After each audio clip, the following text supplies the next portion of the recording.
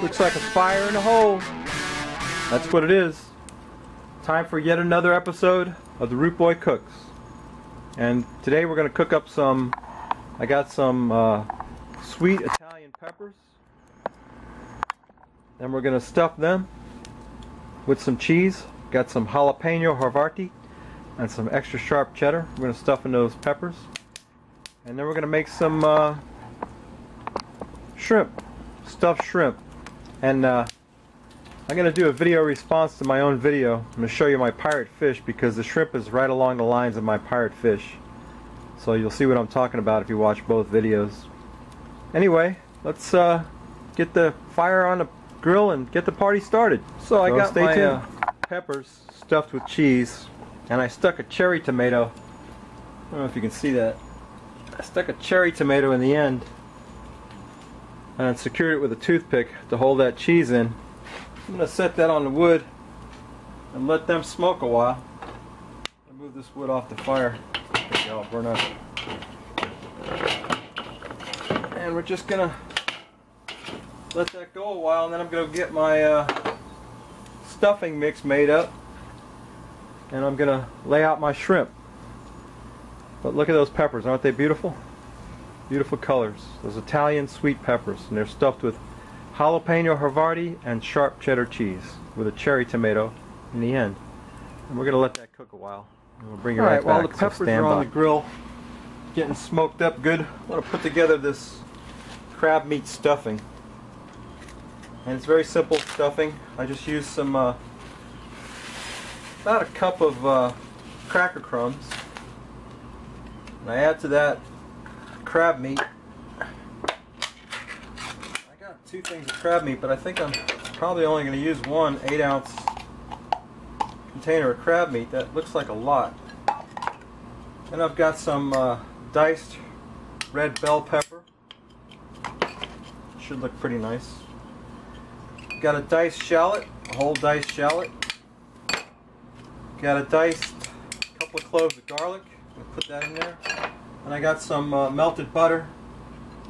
I'm to pour all over that. Mix that all up. Oops.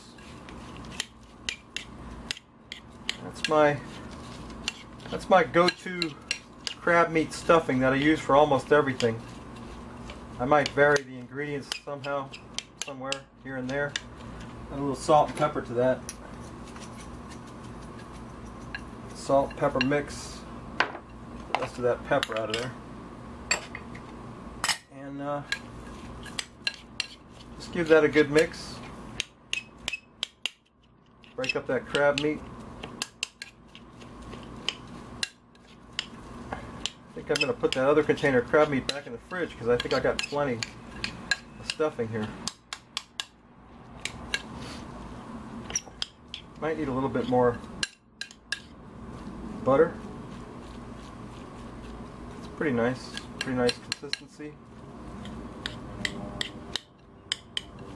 That looks pretty good. Throwing it everywhere. I'm flinging it everywhere. How's that look? Can you see that through the camera? Let's see how that looks.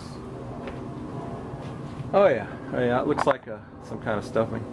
Okay, so what I'll do now is I got my shrimp butterflied, and I'll uh, I'm gonna check on those peppers. I'm gonna lay the shrimp on the uh, cedar planks and then I'll just pile the stuffing right on top of them dump a little paprika on them and brown them up. And we'll bring okay, right I got my shrimp on the board. I butterflied those shrimp. My tomato plugging idea didn't work too cool because the uh, cheese leaked out of them but anyway you get the idea what I was trying to do. I got my butterflied shrimp and what I'm going to do with them is just lay the stuffing right on top of them and uh, I'm going to cook that a little bit. Doesn't take long to cook shrimp on this hot grill on a hot day. I'm just going to lay that on top of there like so. I hope that's on camera. I think it is. I think you can see what I'm doing. I had more than enough stuffing my shrimp that one can of uh, crab meat. Lay that on there. I could have stuffed those uh, peppers with a little bit of this too, but I didn't think of it until it was too late. So there we go. All we got to do is got that pretty much stuffed up. Crab meat stuffing there. Try to rescue that little bit. I don't think it's going to happen. I that's going in the grill. Anyway, I'm going to wash my hands. Throw some paprika on there. Yeah. Sprinkle a little bit of paprika right on top. There we go. Put the cover back on.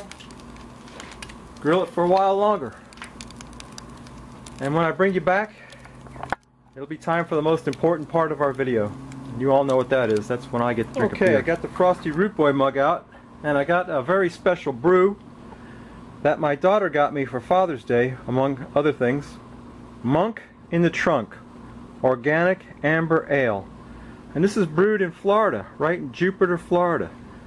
So, uh, pretty exciting to know that they brew beer right here in my home state. I'm going to pour that in a cup. See how that looks. If I get it open.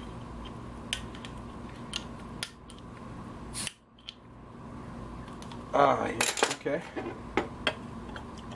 Oh, that looks good. It's nice and dark.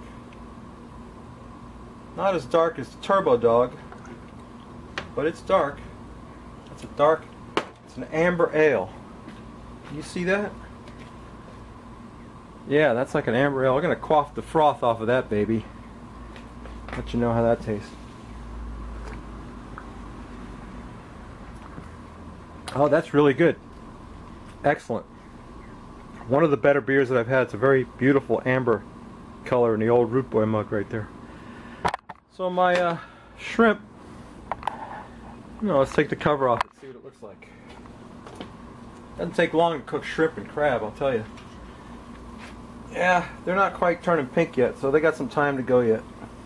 I don't know if you can see that. Okay.